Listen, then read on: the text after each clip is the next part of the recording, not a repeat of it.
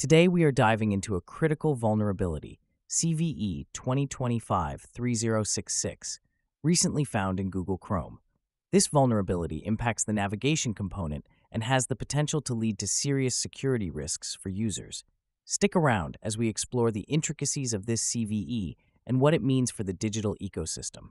The products affected by this vulnerability include Google Chrome versions prior to 135.0 7049.84. This issue has been addressed in Fedora 40 and 41 updates, with the latter advising an update to version 135.0 7049.84 to tackle this critical problem. CVE 2025 3066 is classified as a use after free vulnerability.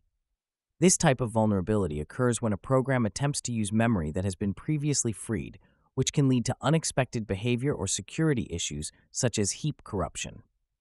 The CVE 2025 366 vulnerability arises from issues in the navigation and site isolation components within Google Chrome. Prior to version 135.07049.84, a remote attacker could exploit heap corruption using a crafted HTML page.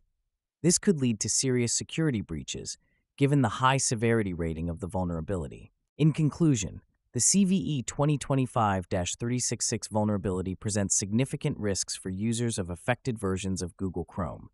It is crucial for users to update their Chrome browsers to version 135.7049.84 or later to safeguard against potential exploits. As always, keeping your software up to date is a vital step in maintaining security.